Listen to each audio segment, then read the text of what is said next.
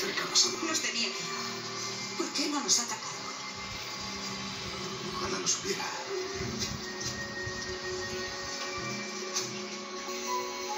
Un nido de T-Rex. Aquí tienes la respuesta. El velociraptor ya tenía la panza llena. Qué pena.